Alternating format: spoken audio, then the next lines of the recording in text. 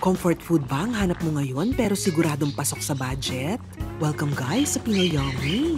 Panoorin mo ang napakamalinamnam na recipe na to na siguradong magpapasarap sa inyong pandasa. Nakikita nyo ba yan? Hmm, tingin pa lang, napakasarap na! Pasok na pasok to sa budget! Ay, nakakatakam na talaga!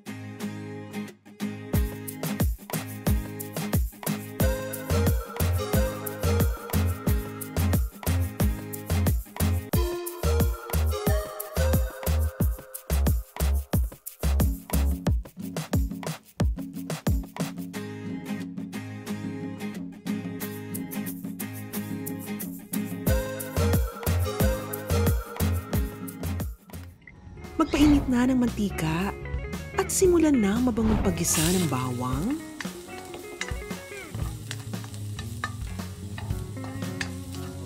at sibuyas.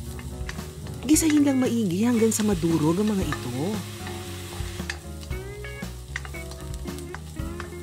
Add din ang luya.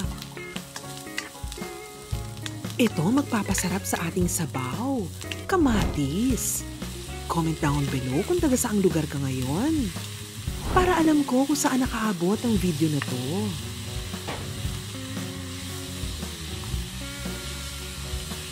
Add tayo ng patis for umami flavor. Mmm, ginisa pa lang, sobrang bango na. Ayan, ganyang pagkadurog sa kamatis ang gusto nating ma-achieve. Ilagay na mga nahiwang manok. Kung nanonood ka pa rin hanggang ngayon, it's a sign na nag enjoy ka. Kaya comment down below, I love Pinoy Yummy. Gisahin lang mabuti hanggang sa mapapansin nyo na wala na ang pagkahilaw sa labas ng manok. Lumalabas na ang sariling katas ng manok. Tiyagain lang ang paggisa ng matagal. Sikreto yan para mas lalong sumarap mamaya.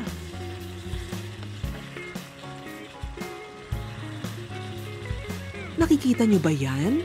Ayan, pwede nang mag-add ng water. Yung saktong maluluto ang manok.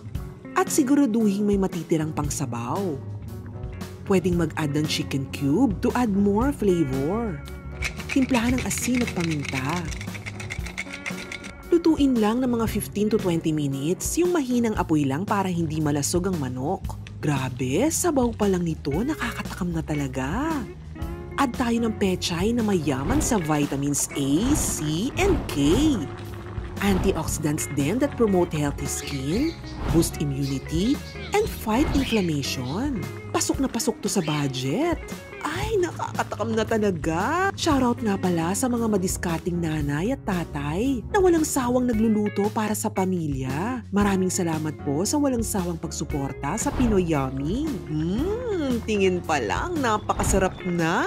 Nakakatakam na talaga. Masasabi mo talagang ito ang isa sa pinakamasarap na tipid ulam na sinabawang manok. Nakakagulat, ang sarap nito mga kayamis. Kaya ano pang iniintay mo? Gawin mo na to para ma-share natin sa ating mga kababayan ang mga yummy recipes para mas yummy!